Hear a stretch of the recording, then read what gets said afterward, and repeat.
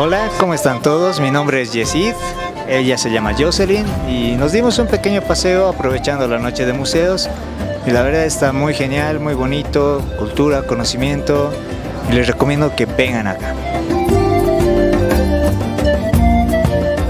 Hola a todos, buenas noches, soy Sharon Pérez, artista plástica afro-boliviana y bueno, en esta ocasión les presento la exposición denominada Espíritus de Ghana. Esta es una muestra que ha sido creada para el Consulado de Ghana en Bolivia. Tenemos la suerte de que estemos justamente abriéndola para lo que es la Noche de Museos acá en el espacio Tambo Quirquincho.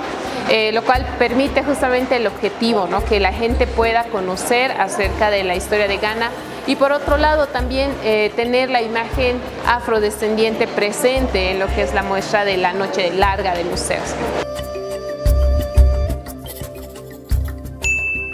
La Paz, Gobierno Autónomo Municipal.